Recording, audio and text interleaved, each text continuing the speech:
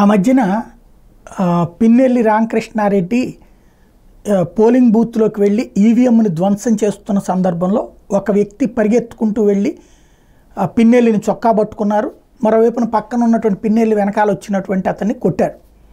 అతనే నంబూరి శంకర్రావు. అతని పేరు బాగా ప్రచారంలోకి వచ్చింది. ఆ తర్వాత చంద్రబాబు గారు కూడా అభినందించడం ఇదంతా చూసాం అట్లాగే ఆయన పెట్టిన కేసులోనే ఇప్పుడు ప్రస్తుతం పిన్నెల్లి అరెస్ట్ అయ్యి జైలుకి వెళ్ళింది. ఎందుకంటే రెండిట్లలో బెయిల్ ఇచ్చేసింది. పిన్నెల్లి చేసినటువంటి దాడిలో ఒకటి సిఐ మీద దాడి రెండవది నంబూరి మీద దాడి విషయంలోనే ప్రస్తుతం జైలుకి వెళ్ళింది. రిమాండ్కి వెళ్ళింది. ఇప్పుడు మరొకటి ఇవాళ పిన్నెల్లిని అరెస్ట్ చేసి తీసుకెళ్తున్న సందర్భంలో ఒక వ్యక్తి పసుపు చొక్కా వేసుకున్నటువంటి వ్యక్తి రెండు చేతులు వెనక్కి పట్టుకుని ఇలా ఎదురుగుండా నుంచున్నారు. పిన్నెల్లితో ఏదో మాట్లాడారు.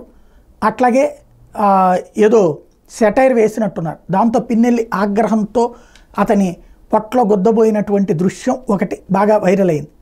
అంటే షేక్ హ్యాండ్ ఇచ్చారు. షేక్ హ్యాండ్ ఇచ్చిన తర్వాత ఏదో మాటల జరిగినాయి. అప్పుడు అతను కొట్టబోయినటువంటి దృశ్యం హైలైట్ అయింది.